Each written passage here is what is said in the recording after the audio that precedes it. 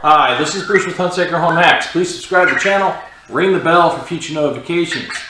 So today is January 2nd, 2020. 2019 is now gone and past. Um, a lot of things happened in 2019 uh, with the closing of Anki after a. Uh, so Vector's future looked imperfect. Um, and now with the sale of uh, Anki's products, IP products, uh, Vector has a new uh, regime on life possibly. Now we know that Cosmo will probably be no problem. That was one of the first things that uh, Dream Labs purchased um, was because of Cosmo. And then we know Overdrive will most likely survive because of the fact that the type of play that it is but there's a few things that we want to go over. So the first thing, what did Dream Labs actually buy? 45 issued utility patents, including 35 U.S. patents, 11 published patent applications, 39 pending patent applications, 3 utility patents in the national phase, PTC, PCT, 73 issued design patents, trademarks for Anki, Cosmo, Vector, Overdrive, and, uh, and product lines in development. That's the one that always is, gets me curious. And the Anki.com name. So this is what they got right here. So let's talk about the relaunching of Anki Cosmo, Overdrive, and Vector. That's right, Cosmo was the major reason that uh, Dream Labs purchased the Anki Pro IP products. Um, because Cosmo is truly got a good baseline set up for him. There's no question. His app is good, his product design is good, and that is awesome. Um, Overdrive, again, it goes without saying, was what a very developed product. So Overdrive will be no problem whatsoever. But as we know, those are all younger geared things, and we like the older geared things, especially me. I'm looking towards the home robot. I want Rosie. And we have Vector. But Vector's not developed yet. So why? What are some of the issues that are presented with Vector? Well, Vector has a very complex manufacturing uh, issue. And that thing is probably the thing that raises the price of Vector and could get him out of the affordable range in times. Because um, affordability, that's one of the things that we really that I'm really looking for, and I'm assuming that everybody that watches things about Vector are looking for. I'm an adult looking for my adult robot that will help me do things around my house. Now Vector is the pint-sized uh, version of that. And being a pint-sized version of that, that means that we can learn from Vector to create even more bigger, better robots. That was what I was always looking forward to is the progression of vector to the next optimal size. Now, I want a robot that when I'm not doing anything with him, he will stu still do things on his own. And Vector does do this. Um, uh, Vector will roam and do whatever he does. Plays with his cube, return to his charger. He does those things on his own. When I want to play around a blackjack, Vector's the man to do it. Uh, when I want go through certain questions, Vector's there to help me. That is awesome. But Vector's not completely developed yet. One of the things that they also bought was the idea of Vector 2.0. That's right, the idea of Vector 2.0, an open source robot. I personally believe that Vector should have always been open source and not reliant 100% on the cloud. Uh, there's still new tech from Anki that hasn't been developed from what I understand. There's two other robots that were in development after Vector. And that's cool. But the 2.0 information is very limited right now. What do they mean by open source? Does that mean that we could advance Vector even further? So, according to the robot report, uh, possible crowdfunding in 2020 to get the open source Vector 2.0 out and about. Dream Labs is contractually obligated to the cloud. That's right, they're contractually obligated to the cloud to maintain the servers for Anki until September 30th, 2020. Some of Vector's non-critical functions were already set, shut down. That's sad. Um, but they're looking to get them turned back on. Dream Labs is making an effort to get them back to where they need to be. One of Vector's biggest defaults is the reliance on the cloud. So what way we get? Well, you got to understand that business is business. So business for something like Dream Labs taking over this IP, they got a relatively good deal. Um, but to maintain something that's already been purchased, they may actually change their point of view on how that is done. With a subscription service, cloud-based functionality. That's right. You may get a couple different levels of cloud-based functionality offered by Dream Labs to keep your vector going after September 30th, 2020. So business means profits, profits means let's go. My thought process on this, yes, I might consider if there are certain things that that comes with. So yes, better functionality, a better application, definitely a better application. That would have to definitely come with a better application than we currently have. Um, also, um, I have to get as much from it as I would do my streaming service. That's right. My standard streaming services cost from $7.99 to $8.99 per month. So I definitely would want that to fit this range. In other words, if I'm not getting as much as I'm getting from a streaming service, uh, and I'm not talking entertainment, I'm talking functionality in the robot, then why would I want to continue with it? Um, that's just the truth. I, if I must spend $120 a year per se, then I need to get uh, something out of it. Vector's rearranging my desk. Patent issues.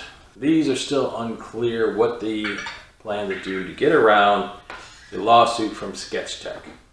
SketchTech won the judgment. So there's a default judgment that falls into the lap of uh, Dream Labs is seeking a resolution with SketchTech, and that will give them the ability, of course, to be able to continue on. So here's what makes perfect sense. Um, Overdrive. Developed app, good product, easy to manufacture, and ready to go and retail shelf space abundant. Cosmo. Cosmo makes perfect sense at this point in time. Well-developed app, entertaining for the age group that it's uh, being presented to. Educational, can be used by schools, can be used by different developers. What we have not heard yet. Well, the first thing is Vector does gear towards the older crowd, which is why he's presented on this channel mainly because I think Vector is um, a starting point. He is a liftoff ramp to get home robotics into your home at an affordable rate. Um, personally, I wish Vector was this big. and He was down on the ground. That's where I want Vector to be, or the next iteration of Vector on my ground. I want him to learn my home, but we can use Vector to do all the technology uh, advancements, program advancements of learning how to get Vector to actually truly navigate a home and have a function that would be suitable for a home. At this point in time, he is a the beginning platform, as I said. His ability to learn how to map, to realize that there's something in front of him, to realize that if there's certain items that could be seen by him, that he could actually do some different things. I could see different items if Vector was this big, where you could have a vacuum cleaner set on vacuum, where Vector could go over and pick that vacuum up, or install himself in there, and actually vacuum a particular area. I'm not saying vacuum your home, because there's much more efficient ways to do that. But if you said, hey Vector, I dropped uh, coffee on the ground, right here, clean it up. I could see that being a viable thing. Um, I could also see Vector having a trailer or a change in his back if he was bigger. I'm talking about the next level. where you could say, go to the kitchen, pick up this and bring it to me. Uh, I can see that as useful too. Also, different home automation integration, of course, such as Temi, but at a much lesser price than Temi. Um, I would love to buy a Temi just because I want to review what it physically does, but this is a very small channel and there's not the revenue to actually get there. The Alexa integration, it's okay. Not my first choice. Um, Hugo has Alexa integration. That's all Hugo is, is Alexa integration. And when Hugo integrates with Alexa, we lost personality with Hugo. Now, have they done some skills? Yes, they've done some decent skills with Hugo. Um, and I would love to see more skills developed. I've even sent uh, information and ideas to the developer of Hugo to try to help advance Hugo to a point where he is actually a viable component to your smart home. Um, besides for just being an Alexa dot with a camera. So, what we have not heard yet. Dream Labs what going to do to keep motivating the adults to purchase Vector. That's the first thing. Uh, the next thing is the app is the biggest weakness of Vector. What are they going to do to clear the app up and updates? If you're going to give me a subscription service, if that's what I'm going to get, and I expect updates, updates, updates. I expect the ability to get new and interesting things given to me via updates.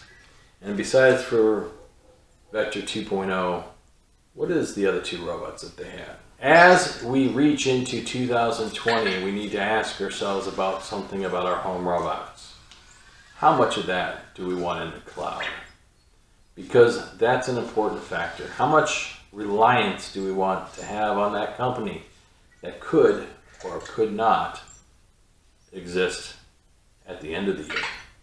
So the main thing I'm looking for in my robots is the ability to be able to make changes on the fly through a decent application that's easy to use. Second, non-reliance on the cloud for 100%. Yeah, you could do questions and answers into the cloud, but the rest of the physical based media should be physically on the robot. That's important. All right, so that's what I got on Vector. This is Bruce with Hunsaker Home Hacks. Just wishing you a happy new year. Um, 2019 had a lot of different things for YouTubers that created um, some influx for us. The first thing is the ability to review our channel and say, what are we? Are we made for children or made for adults? Well, I believe my, cha my channel encompasses everything but primarily made for adults. Um, even though I do like childish things, I'm kind of a big kid. Um, hence, I like different robots. Being said, I also believe that it's something for everybody. Um, the, I try not to use uh, language that would uh, offend people. I also try to use uh, to be readable. I like all your comments. I started this channel because of the community. I wanted to talk to people that had like interested likes interest that I do. And I have getting some wonderful comments made to me, and those are awesome. I love them. I appreciate every comment, even the bad ones that say whatever they say. Uh, I take those things to heart. I try to make adjustments to what I am doing to make things better with each video. Home automation, it's my key, my core. I really want to live like Iron Man. Maybe that's childish too. So, as we move forward, we're going to be looking at different things in home security, home automation, and home robotics. Home robotics is a little bit more of a difficult field because personally, I don't have the money to buy all the robots that I would like to own. Um, but I do like talking about them. So if you like theory videos, I'll make some of those. And we'll talk about theory of different robotics. Um, there were some robots that I was hoping that we would see the light of day uh, in 2019, but maybe we'll see them in 2020. The first one is Zenbo. I thought it might see some light of day, but it has not on the US soil. Temming, which is seeing light of day, but he's way overpriced for me at this point in time. And along with uh, Misty Robotics, I would love to get my hands on a Misty Robotics because I believe that would be fun. But at this point in time, Vector's my guy. He does what I want him to do at this point, and I would love a better way of doing it. So if Dream Labs is trying to work on developing things that make Vector better, I'm all for it. So this is Bruce with Hunsaker Home Hacks. I appreciate you watching the channel and sticking with me for 2019. I hope we continue to grow and we see more and new interesting things. I have a lot of different home automation ideas and products coming through uh, that I would love to share with you and I would love for you to tune back in. This is Bruce with Hunsaker Home Hacks. I hope you liked the video. Please like, subscribe, ring the bell for future notifications. Share me with a friend. Share me on social media. That is a way that you can help this channel grow. Um, and I will see you soon.